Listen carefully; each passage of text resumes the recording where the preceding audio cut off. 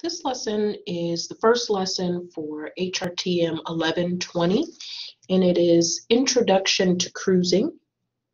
It is going to come from The CLIA Guide to the Cruising Industry by Marc Mancini, and we're going to review Chapter 1, which is an introduction um, to the book and to the rest of the content.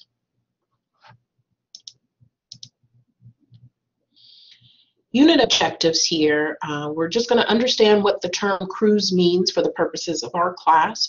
We'll also talk about uh, the history of the cruising industry and how it affects today's cruise vacation experience. We'll also describe uh, what it's like now, the contemporary cruise experience versus uh, in the past. And then we'll also talk about some different uh, types of itineraries and what those look like. So what is cruising for the purposes of our class? Cruising, the definition given by the book, is simply a vacation trip by ship. It's just that simple. It really includes um, traveling for leisure purposes. So it excludes things like purely business purposes, uh, cargo ships, uh, doing your own small sailing of a yacht or something like that. Uh, cruising is more uh, a vacation trip taken by ship, and we'll talk about what those ships uh, are beginning to look like in the 21st century. It's important to know that sailing for pleasure really was not the initial intention of cruise ships or um, ships that were meant to essentially bring cargo back and forth. Uh, they also were used to transport people from one destination to another. If you think about places like Ellis Island, for instance, you'll remember that several immigrants were brought from Europe to the Americas on, on a ship. And so the true purpose in that regard was to uh, really a, a modes of tra transportation for people to immigrate from one society to the next. So ships are were mainly used for the purposes of transporting goods, which is still used today. You'll see lots of ships transporting containers, which would include merchandise, cars, the things that you buy in grocery stores and in stores, uh, retail stores today, simply are goods that are going to be shipped via cargo ship. So you'll see a lot of those, and then your 18 uh, wheelers that are driving on the roads today, they are carrying those containers, typically that are shipped from overseas with um, goods. And then, of course, we've talked about the people. In the 1800s, shipping companies really started to think about this in a way of increasing profit. And so what they did was began to book passengers aboard their merchant ships. So they're not only bringing those goods that we talked about, but they also said, well, hey, we can add people, they can pay us, and that can be a, an additional mode of income for us. And so eventually they started building these vessels uh, not just for cargo, but for people. And they started to call those steamships. Technology really helped to make this possible, where wooden ships uh, with sails were replaced by the steel-hulled vessels, and they're driven by coal, oil, and steam, and not by wind, which is um, how ships were essentially moving uh, in the past. And so we know that ocean liners began to appear in the 1900s, and that's a ship similar to this uh, picture here, also similar to the image that you might have of Titanic. That was considered an ocean liner. The major purpose of ocean liner in those times was to carry immigrants and not necessarily the well-to-do. And so that's where most of the money was made.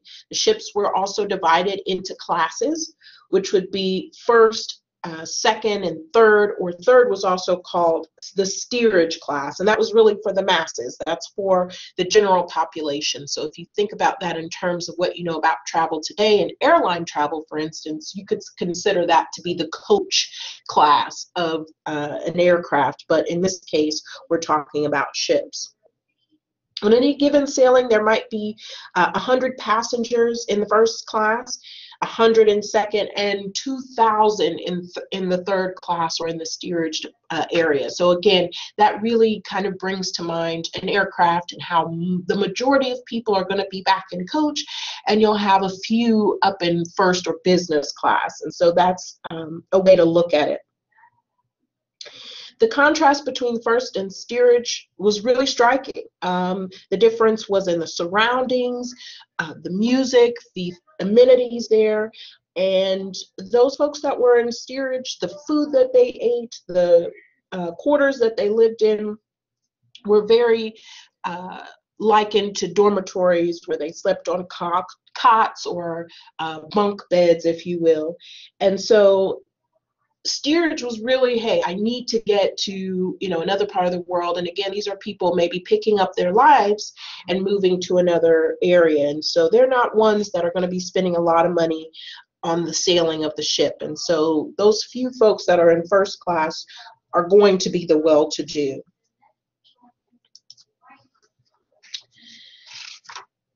So after world war one most of those ocean crossing vessels were converted into troop transport ships. So these were used in the war. And then after the war, they were joined with new a new generation of ships, bigger, sleeker, and above all, faster. Speed became the most important goal because again, they're trying to get people from one place to the next. And so it was all about how fast you could do that. In the 1920s and 30s, the ships began to offer more entertainment on board so that it, it would attract more middle class passengers and provide some of that pampering that we start to see in today's cruising. One interesting note is that during Prohibition, which is the time in which alcohol was prohibited uh, from being sold or um, drunk in America, aboard a cruise ship was really the only place you could drink liquor because it was on the seas and it wasn't necessarily included in that um, prohibition because it was not on land. Onboard casinos were still rare, so they weren't there yet, but we do know from current uh, modern cruise ships that uh, one without a casino is almost unheard of now nowadays. So at this time, cruise ships became larger. Governments decided that, hey, this is a new industry that we should subsidize. So they started putting money towards that. And so nations could have ocean liners as a symbol of the prosperity and the taste uh, and the might of their uh, society.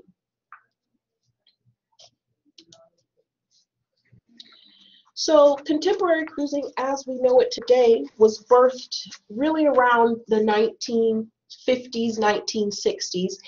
And one key element to that was that airlines began offering commercial service across the Atlantic. Well, what does that mean?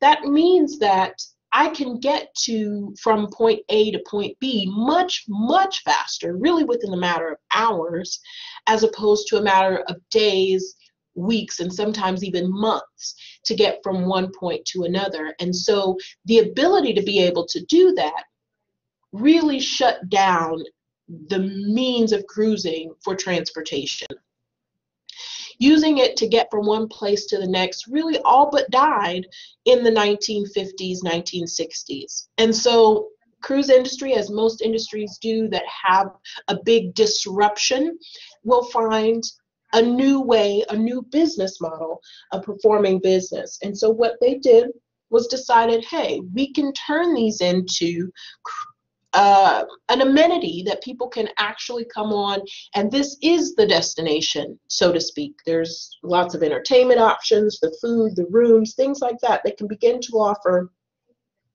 new amenities and rethink their business model. So they didn't do it to cross the ocean necessarily, but cruising for the fun of it was born.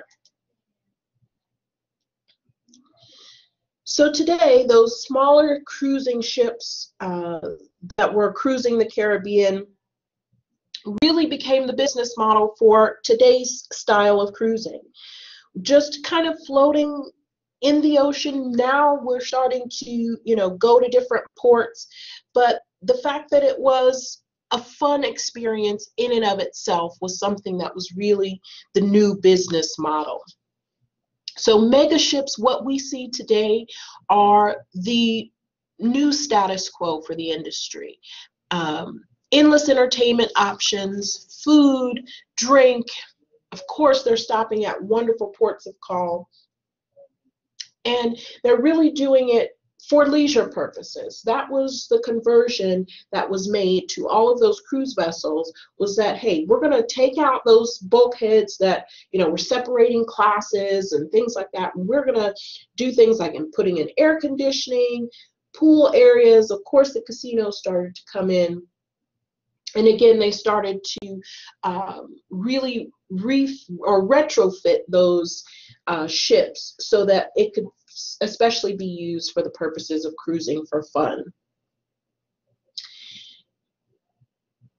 Some interesting information about the types of cruising that you can do today or what your itinerary might look like.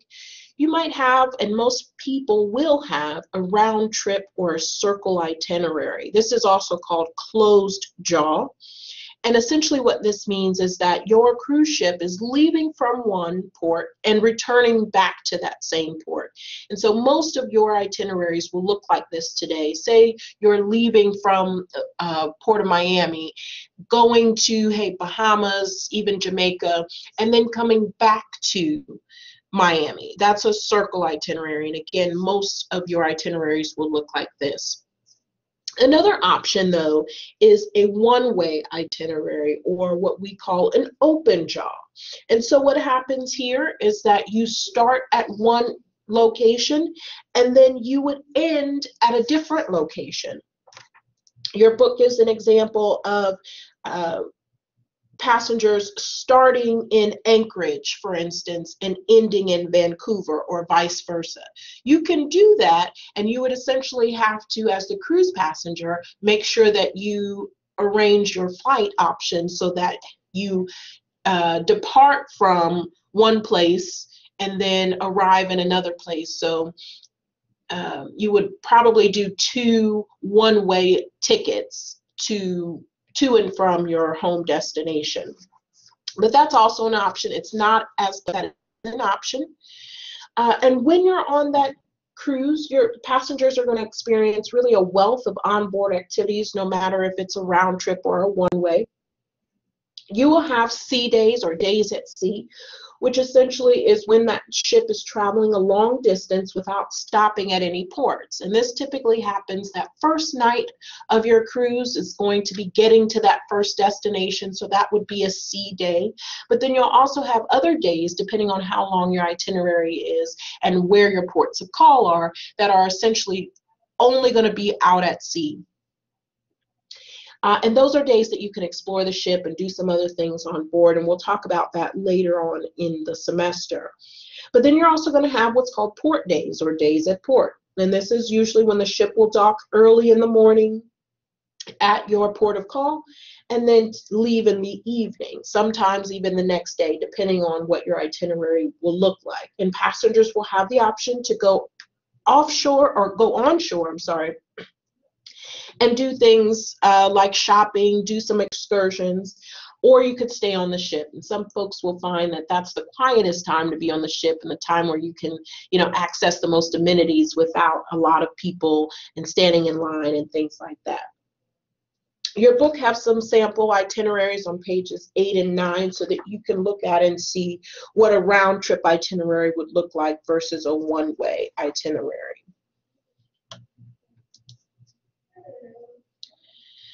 And then um, there's a video here of Harmony of the Seas. Um, this is currently the largest ship in the world, and it is a Royal Caribbean ship. And I'm waiting for it to load up for you. Oh, it's saying that it won't, so let me give it just a second.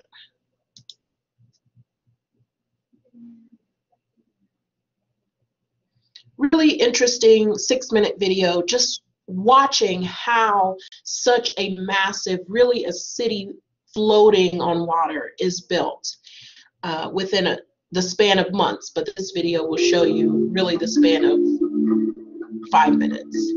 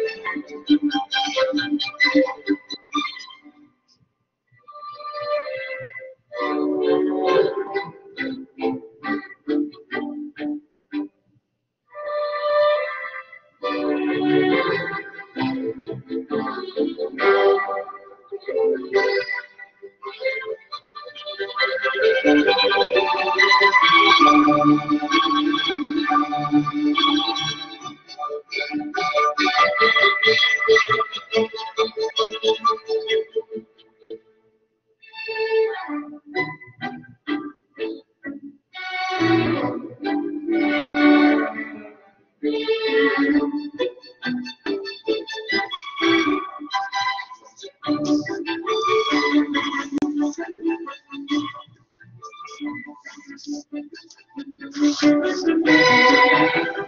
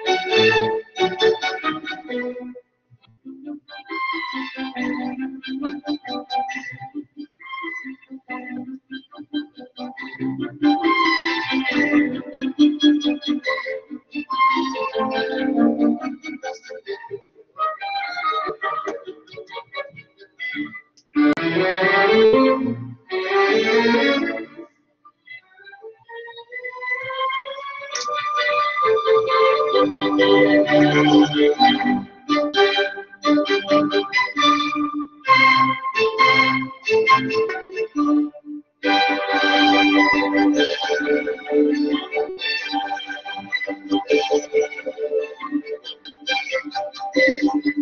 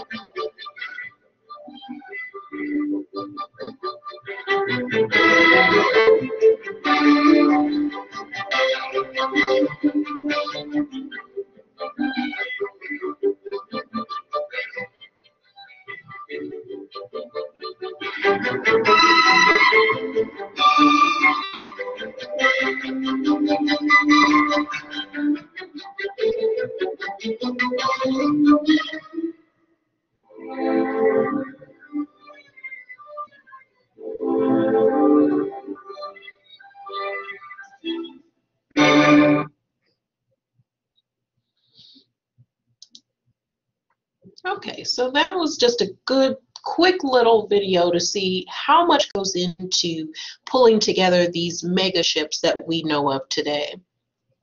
This concludes the lecture notes for lesson one. For your lesson one quiz, your password is Harmony, H-A-R-M-O-N-Y. Thanks for watching.